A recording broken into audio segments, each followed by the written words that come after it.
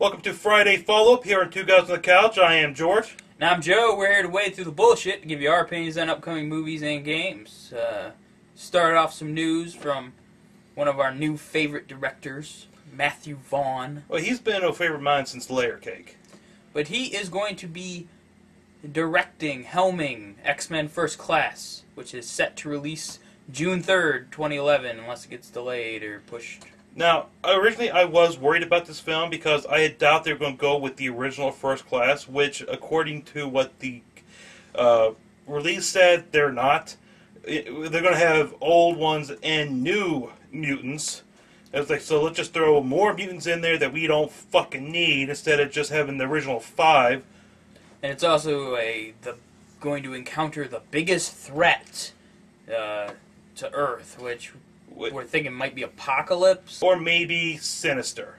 But see, that's gonna be dumb for a first class storyline because that should be part of a trilogy storyline with the new set of mutants. Come on, that would make sense. Bullshit. Another one of our favorite directors after we saw their first film, Undead, the Spierig brothers are going to be directing the sequel to Dark Crystal, Power of the Dark Crystal. Yes. Now, I am excited. I'm a huge fan of the original Dark Crystal. I love the world. I love the imagery. I love the whole concept of the Dark Crystal. The, what worries me about this movie is the fact that they're making it 3D, so I'm hoping they don't do a lot of cheap 3D tricks and they shoot it uh, starting from 3D instead of trying to do post production 3D, which always makes it look flat and bland. Now, this movie takes place hundreds of years after the original one, and it's supposed to be a mix of Muppets, live action, and CG. Now, when they say live action, I'm hoping they don't mean people, because the thing about the thing that made Dark, Dark Crystal so unique was it was all puppets. There were no live people in it. So I'm I'm worried about that because that's the concept. That's the whole point of the Dark Crystal. It is a total fantasy movie. It's actually what you could probably consider the only real fantasy movie out there. I am still Emperor.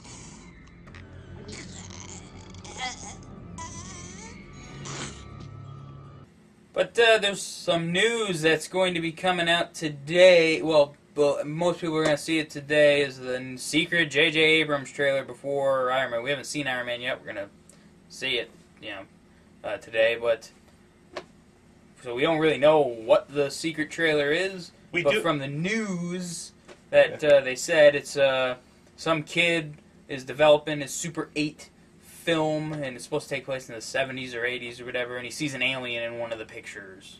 Yeah. Now, there was speculation that this was like a prequel to Cloverfield, but JJ's come out and says this has nothing to do with Cloverfield. Thank you, Jesus!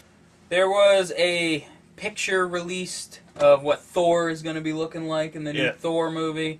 I think it looks fantastic.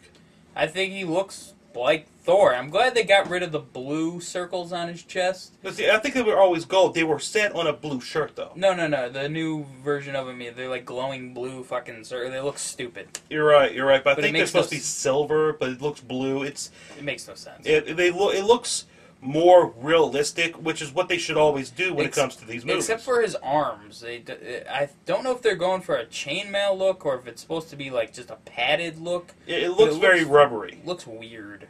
I think it looks like rubber, but I still think it looks like a fantastic pic- picture. And there is rumor that he is supposed to make an appearance in Iron Man. Which- and I do know that there is a clip after the credits of Iron Man. Which So stay there and watch him. Hmm, genius.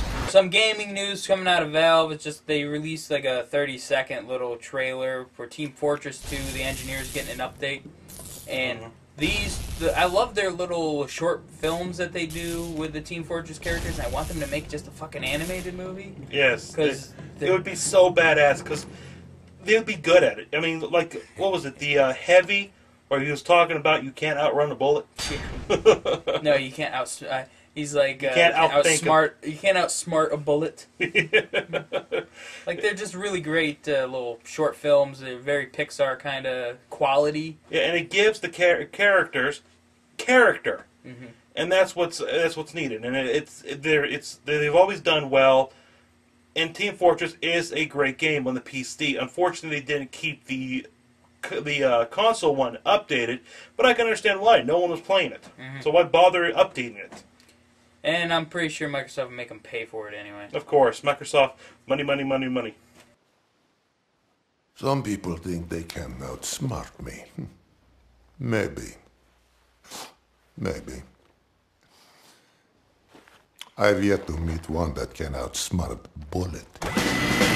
But uh, there's also some first pictures that were released of Gears of War 3 uh, in a Russian magazine of all places. I just it's fucking weird. According to Cliff Bla- Bleszinski, the lead designer of Gears, he said the text related to the pictures is bullshit, so don't pay attention to the text. But the pictures, you know, they show some some new creature designs, uh, some new clips of the world. There's some concept art that looks really cool. Yep. There's supposed to be a boat, uh, a huge boat level. like a yeah, like an aircraft carrier Yeah, style but like thing. bigger than aircraft carrier. Uh, and then there was a picture of what looked like a group of aliens just destroying the locust. And it it was in the trailer too, where apparently there's going to be a third enemy. So I'm guessing the enemy of my en- enemy is my friend concept going to happen, and you're going to team up with Locust to take out the the really bad bad guy. You think you know bad, huh? You're a fucking choir boy compared to me. A choir boy. For this week's badass thing of the week coming out today on the seventh, there is a Mega Man fan film that You, was you can watch it for free. on Screw Attack. Attack. Screw Attack, and it looks for a fan film. It looks fantastic. Mhm. I'm psyched. We haven't watched it yet, but we're gonna watch it, uh, and then we're gonna uh, give you our review of it on Monday with Yes. the rest of our reviews. But uh, we're gonna be a little kinder to this than we would like a normal movie because it is a fan film. Yeah, we're not going to try to rip it apart. We're not going to come down harsh on it. We're not, uh, we're not going to be like, well, it's a fa- it's still a movie, so it needs to be rated up there with exactly all the other. No, Yeah, no. All mov- uh, not all movies are equal. I've talked about this before. This movie is a fan film. We're going to treat it as a fan film and respect it because these people love Mega Man and they wanted to do something with it, at least more than Capcom is fucking doing with it. Well, Capcom did uh, what they they they did, did um, trademark Mega Man Universe, so maybe they have a new Universe game coming out. But I want them to fucking make a, a, a Mega Man movie. Make it animated, make a live action. I don't give a fuck. Just put a lot of money behind it. It's fucking Mega Man. I guess that's all the news we got for today. Yep. But for Monday, we'll be giving you our opinions on Iron Man. Uh, I'm going to be giving you my opinions on Dead to Rights Retribution because he didn't play it. And uh, we're also going to be. We'll tell you what we think of the Mega Man fan film. Also, we may give you a review on Mega Man, the vid- uh, Mega Man. I'm still a Mega Man. on um, Iron Man, the video game. Yeah, I don't know if I'm going to rent that or not. I mean, obviously, I'm not going to buy it. But uh, I might pick up Iron Man 2 just Yeah. to kind of see how it fits in with the, the movie. And It, it's- supposedly, it follows a different storyline than the movie. And it's supposed to be better than the first one, which really wouldn't be hard to do. The only way you can make it worse is make it like Superman for the 64. In short time, your fate will be sealed, Superman. What? No. As always, you can uh, check us out on our website at tuxedocast.com or over at mediaslayerproductions.com. You can friend us on Facebook at facebook.com slash tuxedokats and follow us on Twitter at twitter.com slash tuxedokats. Uh, for two guys on the couch, I'm Joe. and I am George. We'll see you next time here on the couch. Well, now that your system checkup is out of the way, we can concentrate on other things. Like the interview, Dr. Light? Exactly.